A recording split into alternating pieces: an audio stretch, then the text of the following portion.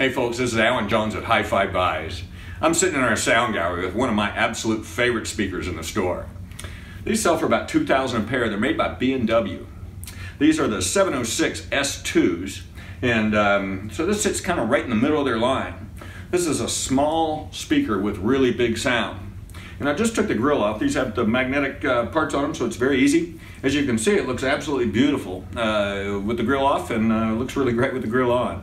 And um, this is the Continuum cone that you end up finding they developed uh, really for the 800 series a while back and have actually trickled on down to the 700 and the 600 series as a matter of fact. Um, you'll find they use a dome tweeter in here and again has some very, very, very wide dispersion. Cabinet is just rock solid as it can be. Matter of fact, seriously, no, hurts a little. um, but you end up finding uh, these guys again. We'd love you to come down and take a listen. I think uh, again for 2K pair, it's pretty amazing what they ended up doing. Uh, and again, as you can see, they look really, really great with the grills on. So if you're looking for a smaller speaker that can do a really big sound, they make matching centers and subs and that kind of thing for it as well. And if you'd like, we'd love to have you in to take a listen.